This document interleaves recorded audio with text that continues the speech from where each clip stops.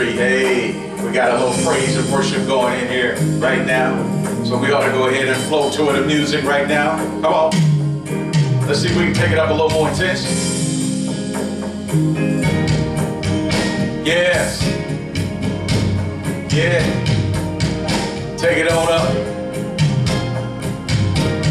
Oh God, how much you love him this morning. Go ahead and give him praise in the house right now. Come on. God, we love you. God, we thank you. We thank you for this worship experience. But more important, God, we thank you for who you are, for your grace and for your mercy and what your son Jesus done on the cross at Calvary. Oh, yes. We ought to go ahead and clap our hands right now. Stomp our feet right now. If you can move any extremities, go ahead and move them right now and give God praise in the house right now. I think we got one more level we can take it to. I want to go ahead and see if we can hear this band and let it play its best. Let's see if we can get it. Come on, you ready? Give me a like and a love if you're ready to hear it right now. Here it come, here it come, here it come. Let's see it right now. Yes. Oh, yes. Oh, shucks now. Come on. Give him praise right now. Give him worship in the house right now. Ah, throw those hands up right now. Say, God, I thank you for another day. God, I thank you for another week. God, I thank you for bringing me through. Come on. So I can make it through. Come on. Y'all, come on.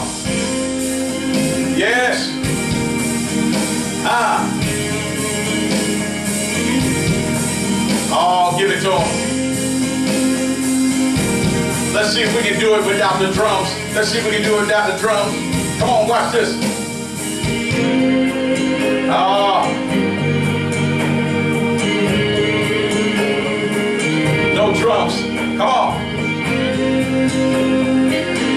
Can bring the drums back for you. Let's see if we can bring the drums back for you. Let's see. Come on, come on, come on here. I just want to hear drums and no music. Let's see if we can just get the drums playing. Watch this. Oh, yeah. Uh, you feel that? Uh, that sounds good. Let's bring it all back. Come on. Oh, yes. Ah, yes, yes. It's good to be in the house and him praise. Let's see if we can bring it on down for you. We go ahead and get on out of here. Come on.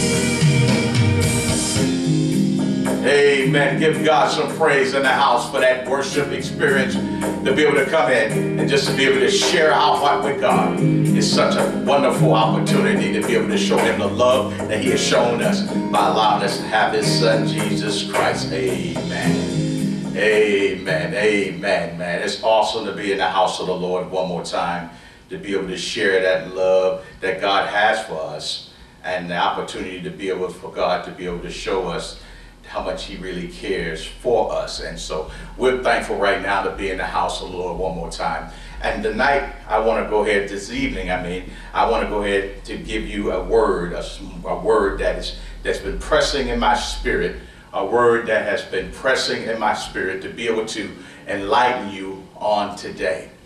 And sometimes we can be in a situation where we can feel as though we're dealing with something so big so heavy, so devastating that we're wondering how can we get through it? How can we make it through it? And today's message is for someone who's facing some type of wall, some type of structure, something that is trying to hold you. It could be a sickness, an illness, a financial issue, something that is holding you back. And God has a word for me to inspire you and encourage you today in this first Sunday in the month of September on this actual sixth day. And so we're going to go ahead and we're going to go ahead and, and pray. And after we pray, we're going to go ahead and get into this word and going to bless someone out there today to be able to give you some encouragement, some enlightenment, to be able to help you through your obstacles that you're dealing with. Oh, great and mighty God, we come to you right now. And we thank you, God, for this opportunity. God, we thank you, God, for your grace and your mercy. God, we just thank you, God, for being God all by yourself. And God, as we go ahead and embark in your holy ordinance, God, we ask right now that you decrease me as you increase me with your Holy Spirit, God, to be able to give your people an inspiring word, an encouraging word, a word that will equip them, a word that will empower them, and a word that will impact their lives. And God, we ask that we trust in you and believe in you throughout this whole actual experience, God, this virtual experience, that even through a pandemic, God, you speak and nothing can silence your voice, God. So we ask right now, God, that you continue to move us in this vein. Allow your word to be the inspiration. Allow your word to be the illumination. Allow your word to give us confirmation in this thing called life as we go through it. We ask this in the mighty name of Jesus Christ. We pray, amen. As we go ahead and go to the scriptures today, we're going to be coming out of the gospel according to Matthew's. It's a New Testament. The gospel according to Matthew's. And if you could run your fingers all the way to the actual 14th chapter of Matthew's, will be coming from the English Standard Version today. The 14th chapter of Matthew's coming from the 22nd to the 33rd verse this morning. Uh, and as the scripture comes up on the screen, the reading of God's word goes this wise. It says, immediately he made the disciples get into the boat. This is Jesus. And go before him to the other side while he dismissed the crowd. And after he had dismissed the crowd, he went up on the mountain by himself to pray. When evening came, he was there alone. But the boat by this time was a long way from the land, beaten by the waves, for the wind was against them. And in the fourth watch of the night, he came to them walking on the sea. But when the disciples saw him walking on the sea, they were terrified and said, It is a ghost and they cried out in fear. But immediately Jesus spoke to them, saying, Take heart, it is I. Do not be afraid. And Peter answered him, Lord, if it is you, command me to come to you on the water. And he said, Come. So Peter got out of the boat and walked on the water and came to Jesus. But when he saw the, the wind, he was afraid and began to sink. He cried out, Lord, save me. And someone this morning may be asking God to save them right now. And Jesus immediately reached out his hand and took him, saying to him, O you of little faith, why did you doubt? And when they got into the boat, the wind ceased and those in the boat worshiped him, saying, Truly, you are the Son of God. If I could go back up to the actual 29th verse, and it says, He said, Come. So Peter got out of the boat and walked on the water and came to Jesus.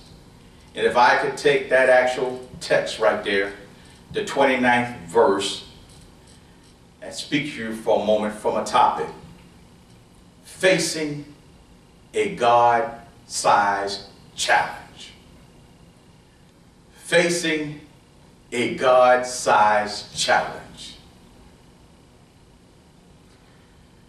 See, facing challenges reminds us that we are stronger and more capable than we give ourselves credit for. And our challenges help us to gain clarity into what we want and also helps to define who we really are in Christ Jesus. And throughout our lives, we all have faced some brick walls, some form of obstacles. However, those brick walls serve as a greater purpose for us because they were placed within our life story to help shape and mold us into who God created us to be today. Because those brick walls were there to challenge us and not to separate us. Let, let me say that again. Those brick walls were there to challenge us and not to separate us from the individuals who are not willing to put in the time, the effort, or dedication to achieve their dreams because they really didn't want it badly enough. Because see, there is plenty of people, church, who have faced some of the same challenges that you and I may be facing today. And their walls were even higher than yours and mine. And they were able to make it over to the other side. See, don't miss this. I'm talking to somebody. See, your walls were not placed to keep you out but they were only put there to see how badly you really wanted something. Come on. And, and God told me to tell someone today that he's trying to bring out your creative side so that you can tap into and tap inside what he has placed within you so that you can reach the other side to achieve what he has already promised you. So I need you to text someone this morning and tell them, that God is not holding me up in this season. He's only making me stronger in this season so that my true identity can be transparent. I'm trying to help somebody. See, he's making you stronger so that you can be more marketable. Come on. He's making you stronger so that your opinions will be missed when you're not presently in the room. Come on, somebody. He's making you stronger so that people will see you as the difference that will make a difference. Come on, somebody. Because here it is. You are purposely driven and not position driven. Come on, somebody. See, many people try to get things and they seek the title of certain things. But when you have the purpose of God on your life, He will place you appropriately right where you're supposed to be. So, do I have anybody this morning right now that understand that it's not about the position that will drive you. It is the purpose that will drive you and push you to the other side. I'm trying to help someone here this morning. So tell someone, don't get it twisted because my life may look bad right now. Come on. And it may not look like yours. But it is only because I'm heading into some new territory that you may never be able to cross over into. I'm trying to help somebody. This is why you may not look like what you've been through in this season in 2020. Come on. Because everyone left you when you were going through the process before you reached your final destination. I'm trying to help somebody. So text someone and tell them, I'm headed into some new territory. I'm going into a place where it's going to challenge me. I'm heading into a place that is going to push me. I'm heading to a place that is going to make me better than what I am today. And it's going to require me to have the purpose of God on my life to be able to make it and not be looking for a position that I'll fail in trying to get there. And then in this text today, as we get into this text, we see that Peter, one of Jesus' disciples, are heading into some new territory this morning, church, by walking on water. And in the Gospel of Mark and in the Gospel of John, it tells us the same story. However, only in the book of Matthew's that we learn that Peter walked on water like Jesus did. And, and when this passage of scripture is usually preached, the focus is on Peter sinking after he began walking on the water. And and Peter has been highly criticized for that, for falling and failing to continue to walk on the water. But what is so fascinating about this text is that ever since Peter walked on water, I have yet to see anyone else except Jesus accomplish the same task. And as we examine Peter, walking on water today, I believe that we can learn how to deal with our God-sized challenges that may be heading our way, church. And the one thing we need to understand that when dealing with our God-sized challenges is that, here it is, we must leave what is comfortable to reach new opportunities. Come on. We must leave what is comfortable to us to be able to reach the new opportunities that are out there waiting for us. You'll see it in verse 29. It says that he said, Come. So Peter got out of the boat and walked on the water and came to Jesus. Catch this. Peter got out of the boat where he was comfortable and walked on the water, which was a new opportunity. Follow me here. See the difference between being comfortable, church, and reaching your new opportunity is that they both exist on two different islands. Come on, somebody. Meaning, meaning, meaning, here it is. There must be a crossover in order to reach your new opportunity from a position of being comfortable. Come on.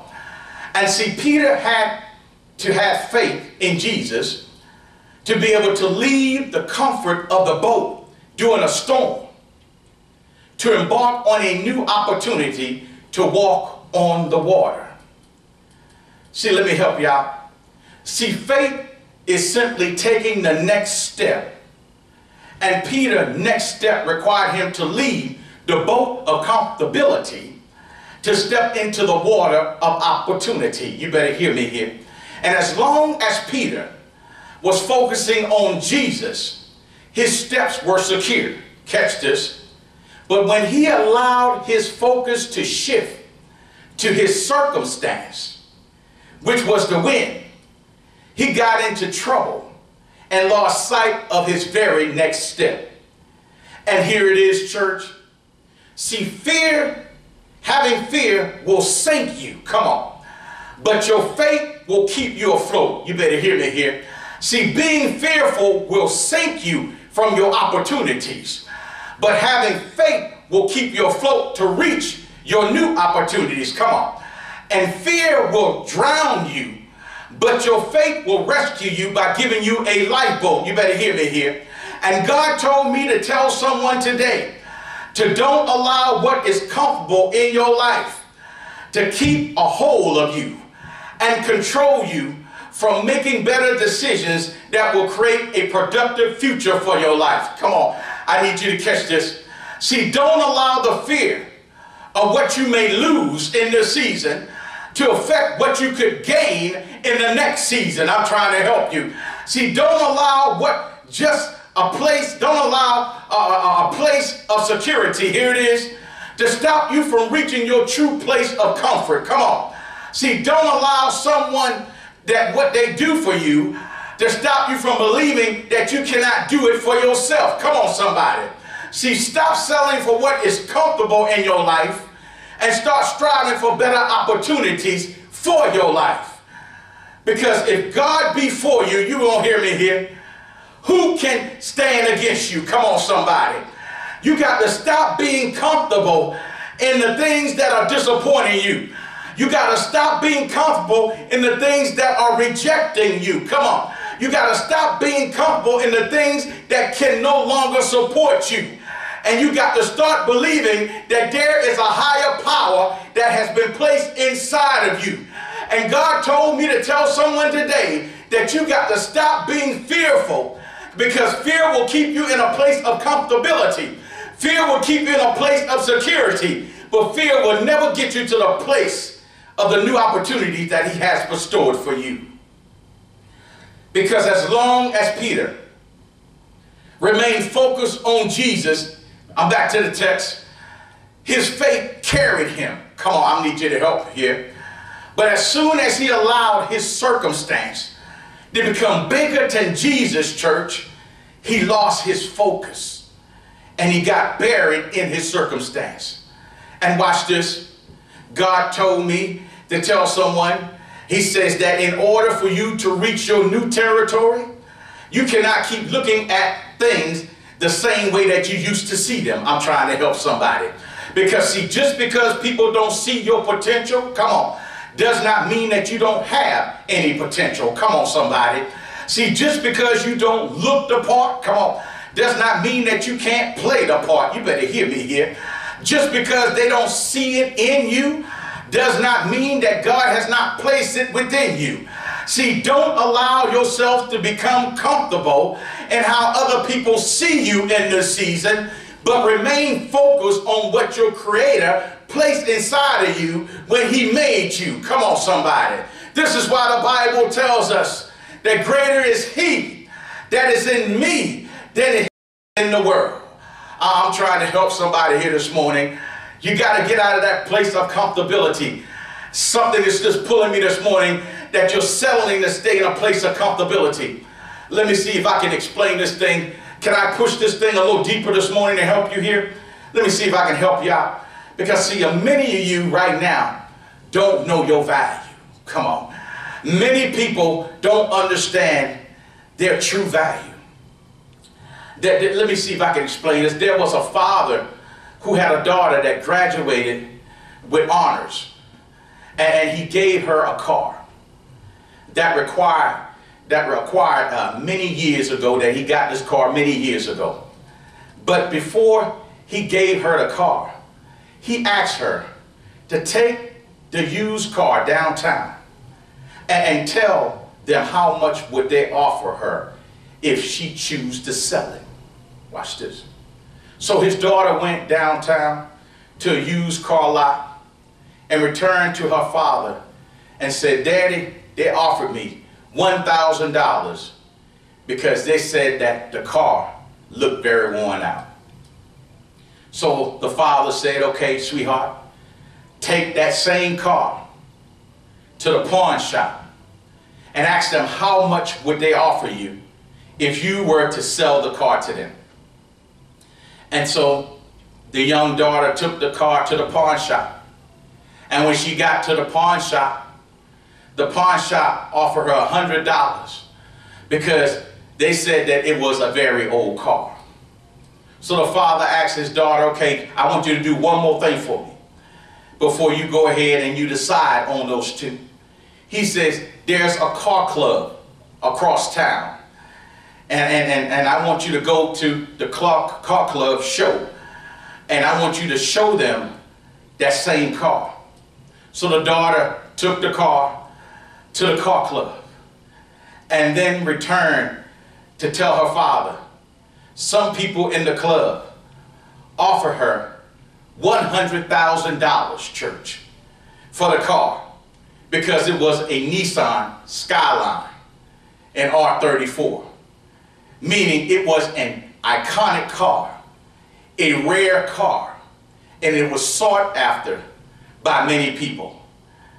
And the father said to his daughter, as I will tell you right now, he says, I wanted you to know that the right place values you the right way. I, am talking to somebody here.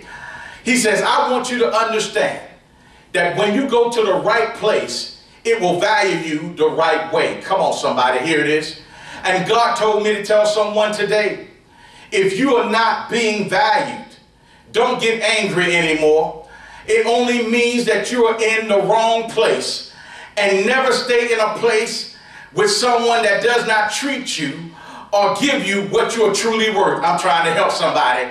Because those who know your true value will be the ones who will truly appreciate who you are because you have been bought with a price. Come on, somebody, that no one can ever match. Jesus paid for you on the cross. So stop lowering your value, your true value, by staying in unproductive situations that are not allowing you to move to where God wants you to be. Stop lowering your value for selling with folks who don't see the value. Stop setting, setting in things where people can't see that you are a rare breed. Come on, somebody. Stop letting people not understand that you are a diamond in the gym. Come on, somebody. And that there are not many or any like you in this season. Come on, somebody. And if somebody has you, come on, that they have an actual iconic individual, something that is a rare breed, and it is the value that you have that they should love about you and that you can add value to their life. Come on. If they learn how to appreciate you, come on, somebody. I'm talking to somebody this morning here. You're in an unproductive place right now, and people are not valuing you. You're settling in different places right now, and you're not being appreciated. But God told me to tell you this morning stop staying in undervalued places where people don't even know the true worth of who you really are. Lord have mercy. I'm trying to help somebody here. So I'm trying to help somebody here. Stop being undervalued. Because if you're trying to be a person that is trying to get to a place that is productive, you got to make sure that people value who you really are. But as I get back into the text, can I go a little deeper in this text and explain something to you? Another thing I want you to see before I move on to my second point is that the only disciples that, that got out of the boat was Peter during the storm. But the remaining 11 stayed and observed Peter to see what would happen. I, I'm trying to help somebody here.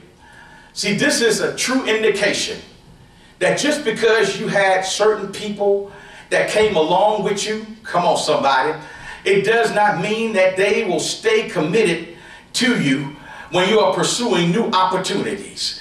Because, see, in your life, church, there's going to be some drop offs. Come on. You're going to have to drop off some folks here. You're going to have to drop off some folks there. And you're going to have some people that drop their own self off. Come on, somebody. There's going to be a drop off in this season because you're heading to something new. And when you go to something new, you're going to know who is fake and who's real. Because see, fake friends are like a shadow. Come on, somebody. You can only see them during your brightest moment, but when they, but but they are not nowhere around to be found in your darkest hour. Come on. You can only find those fake friends when the sun is shining, when the glitter is glowing. But when you're going through something, man, you can't find them suckers. I'm trying to help somebody here. This is why as soon as your environment change, it will show you who is faithful to you and who will support you when you make that life change. And so you have to always remember that when pursuing new opportunities, when you're trying to pursue new opportunities, you have to learn what is comfortable in your life. But watch this. But not only that, you must leave what is not comfortable, but you must also you must also, watch this, you must trust God plan fully. You must leave what is comfortable, but you must also trust God's plan fully. You'll see it in verse 30 here as I move forward. It says, But when, the sun, when he saw the wind, he was afraid and began to sink and he cried out, Lord, save me. Let me say it. It says, but when he saw the wind, he was afraid. And beginning to sink, he cried out, Lord, save me. See, I have read this text many times. But what God revealed to me that allowed me to ask the most critical question of all, and that is, how did Peter see the wind? uh, it, it blows my mind. How did Peter see the wind? See, he may have saw the effects of the wind, but I have never known anyone to see the wind physically. Check this out. Which leads me to believe that Peter was leaning on his own understanding about the effects of the wind over maintaining faith in Jesus. I'm trying to help somebody here. Can I explain this to you a little deeper here? Proverbs 3 and 5 says, Trust in the Lord with all your heart, and do not lean on your own understanding. Follow me here. And what this means is that even if things doesn't make sense, always follow the word of God. I need you to follow me here. And, and, and, and, and it is our understanding, church, that causes us to believe in what we think we know, but not maintaining trust what God already knows. Come on. See, it makes us think that we know something, but we don't maintain trust in what God already knows. Meaning, Peter understanding was the only thing that was hindering him from a God's moment. You better hear me here. Because he anticipated and believed in the effects that the wind had over his situation, but not trusted in the one who had the power over the wind to control his situation. And see, our faith church is developed through our struggles. Catch me here. See, our faith is developed through our struggles. Because if you ask people what faith really is, most of them will answer this by saying this. They will say faith is believing even though you don't have evidence.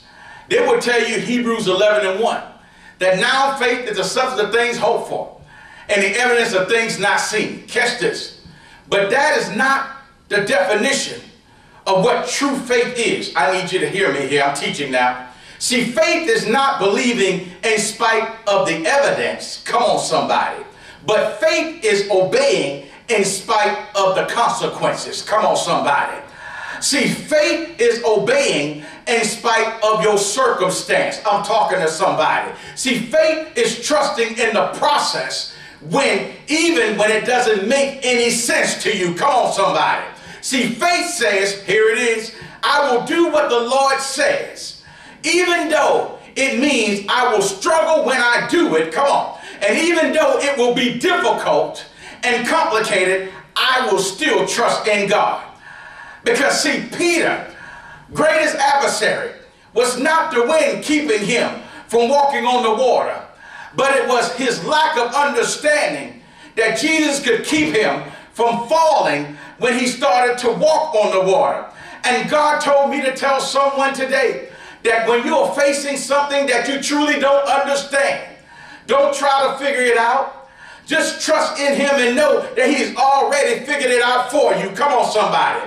See, when you have more money than money, come on, somebody. Come on. Or you have more money than money. Come on. God says, I've never seen the righteous forsaken. Come on. Nor seed begging for bread. Come on, somebody. See, God has it all figured out for you. See, when you have more problems than a peace of mind, God says that the peace of God, which surpasses all understanding, will guard your hearts and minds through Christ Jesus. See, I'm trying to help you see God has it all figured out. See, when you have more enemies than friends, God says, no weapon, come on, form against you shall prosper. See, God has it all figured out for you. When you're in a situation and don't understand how you will get out of that situation, God says, is there anything, come on somebody, too hard for him to handle? Because see, God has it all figured out. So I need you to stop anticipating your outcome in this season and trust in a God that has already determined your outcome in this season. Tell someone that my struggle is only evidence that God has something bigger waiting for me on the other side. See, you're struggling, you're going through this thing. But because the reason why you're struggling is because God has something bigger on the other side for you, and He's already figured it out for you. See, it doesn't make sense that everyone else has it easy. It doesn't make sense to you that you can see everybody else like their life is easy and peaches and cream. Come on. It doesn't make sense that you have to keep dealing with the same issues over and over again. It doesn't make sense to you that you have to keep struggling, but no one else seems to be struggling. And the reason is that your blessing requires much more from you because here it is. Too much is given. Come on, somebody. Much will be required. I'm trying to help you. Too much is given. Much is required from you. And God says, I'm taking you through a whole lot because I got a whole lot waiting on you. I'm taking you through a whole lot of situations because I got greater blessings waiting for you. And because much will be given to you, I'm going to require much out of you in this season. Lord have mercy. Help me, Holy Ghost. Help me, Holy Ghost. Some of you wondering why you're constantly going through it. Why you're constantly dealing with it. Why things seem never to go your way. And God says, much is required when much is given. See, when I'm trying to give you something bigger, when I'm trying to give you something better, I'm going to require you to go through more than the average person. Come on, somebody. I'm going to have to require you to go through some things that other people are not willing to go through. And he says, once you get through it, how does what you understand what much is required of you, I'll give more to you. To whom much is given, he says, much will be required. What I'm going to give to you, I'm going to require a whole lot more from you. You're going to have to dig in in this season, EEI. You're going to have to dig into your problems and your circumstance, your situation. In order for you to get to that new opportunity, in order for you to crawl your wall, in order for you to get to the other side, God says, to whom much is given, Lord have mercy, much will be required of you. Lord have mercy. But as I go ahead and hasten to get out of here, lastly, when you're facing that God-sized challenge that's standing in your way, it's going to require you, here it is, never to forget that God is in it with you. Lord have mercy. Never forget that God is in it with you. Lord have mercy. You'll see it in verse 32. It says, And when they got into the boat, the wind ceased. It says, when they got into the boat, church, the wind ceased. See, one of the biggest issues that we all face when dealing with a God-sized challenge is that we quickly forget that we are not in it all by ourselves. And in verse 32, it explains to us that the wind ceased when Jesus and Peter got back into the boat with the other disciples. Meaning, here it is, the storm was never in control of the situation. Oh, come on. Because it was also, it also means, here it is, that the storm had to be controlled by a higher power. Lord have mercy. So the storm was never in control of the situation, but the storm had to be controlled by a higher power. I don't need you to miss this blessing because I'm out the door here. See, the disciples was never left by themselves while they were in the storm. Lord have mercy. They were never left by themselves. The disciples was never in any danger while they were in the storm. Come on. See, the disciples were never supposed to deal with the storm all by themselves. I'm trying to help somebody. Because Jesus was in total control of the storm to test his disciples to see if they would be more worried about their circumstance or would they see him with them while they were dealing with their circumstance. I'm trying to help somebody here. And God told me to tell someone today that your storm is not the problem that you need to be worried about because he has it all under control. He says the report from the doctor is not the problem no more because God can handle that situation all by himself.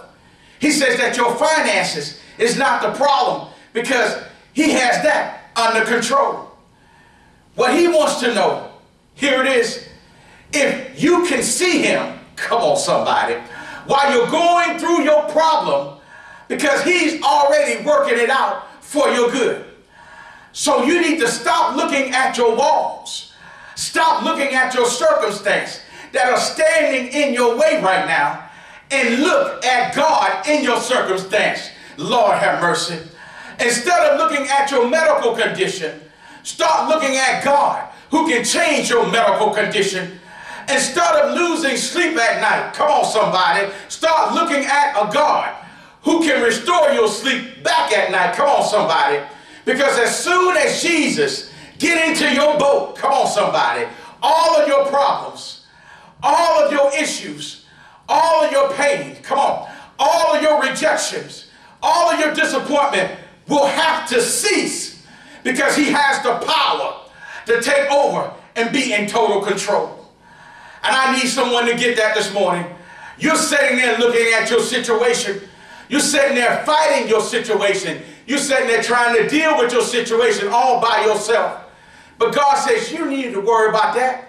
He says, I'm already in it with you. And you need to understand that I have the power to take total control. Come on, somebody. So you need to focus on God.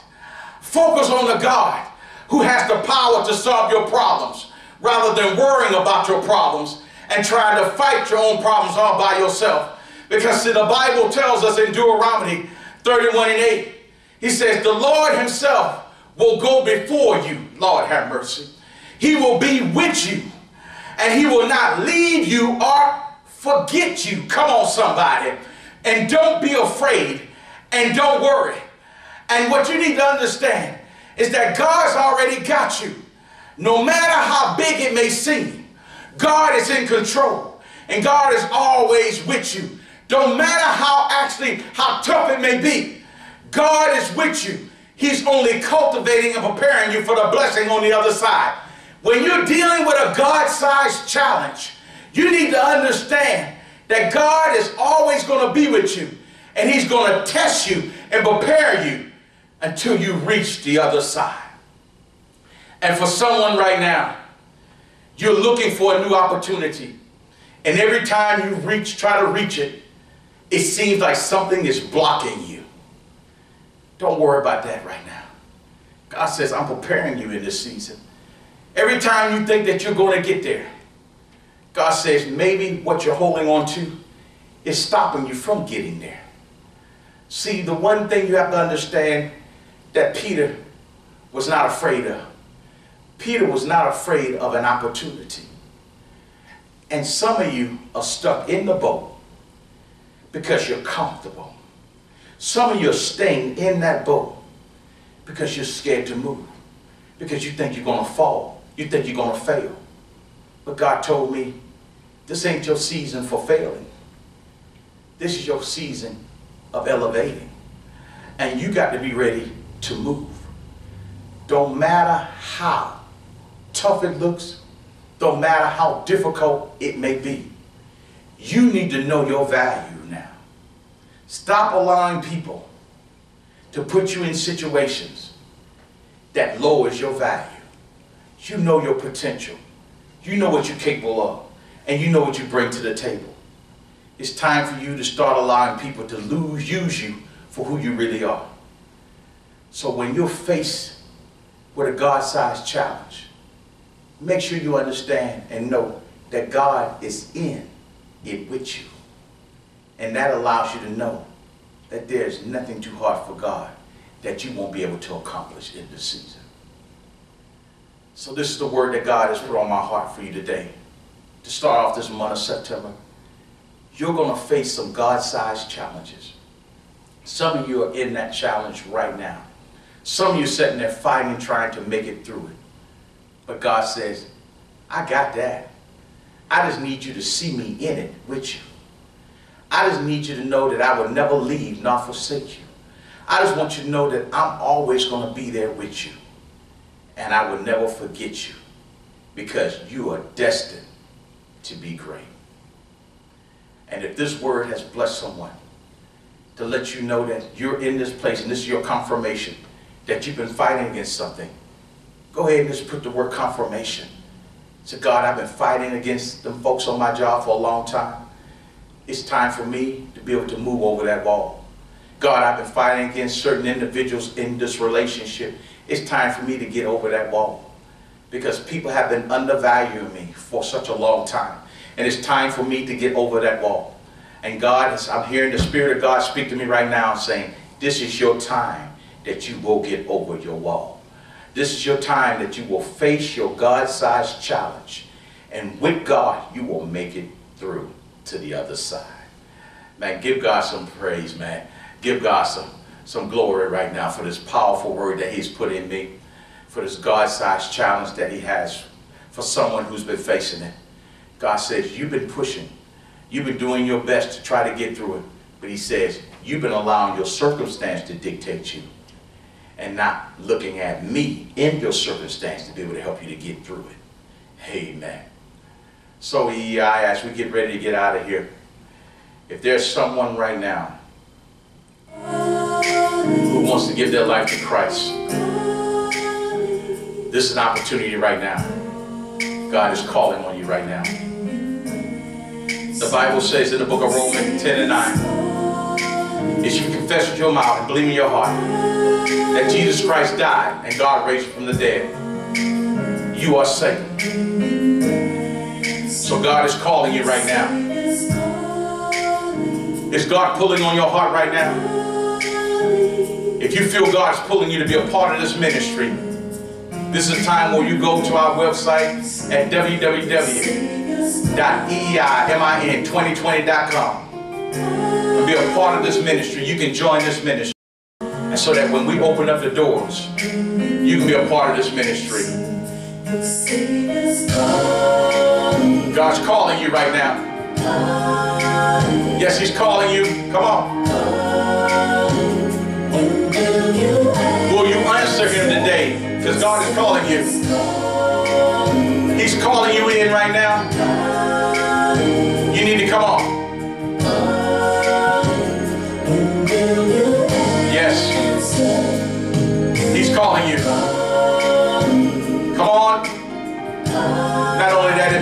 Give in this ministry, as our information come up, you can be a good, you can give, not grudgingly, not of necessity, but be cheerful in your giving. And know that God is looking at your heart, not the amount. Because you can give and have an attitude. We want you to give based off of gratitude. You know that you love God and you love the people of God. Yes, indeed. So if you want to give your offering right now, you can do it via Cash App. You can do it via actual PayPal. Or you can mail it in. And not only that, we're still actually pushing the EEI ministry led to our feet. Led to our feet to where we actually purchasing shoes. We'll give money to those who are less fortunate, those who are part of the ministry that we want to go ahead and support our young youth, those in high school, those in middle school, to be able to give them a pair of shoes so they can walk and not worry about being bullied if they're struggling trying to make ends meet. We know that some people are not working in this pandemic, but if we can be a blessing, we truly will be a blessing to them. Amen. EI, as we get ready to get out of here, I pray that this message bless you right now. And I want you to know that God is calling you right now. He's calling on you right now. He's waiting on you to answer. Yes, indeed. You got to get ready to, for what God has for you this season. Always know that whatever you're going through, whatever you're going to be dealing with, there are going to be challenges. There's going to be sacrifice. And you're going to have to push through it. Going to have to try to make it to the other side. But you just need to know that God is going to be with you in it and through it. And God is going to make sure that you're victorious because you don't fight for victory, you fight from victory. And it's already yours. It's already yours. So as we get ready to get out of here, He's calling. He's calling you. Yes, he wants you to answer. Come on.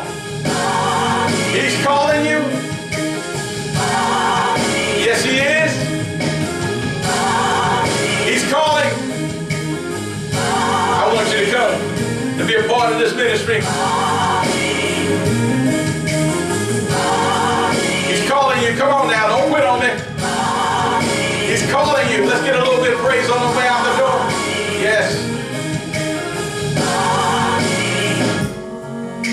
Calling, and he's waiting on your answer.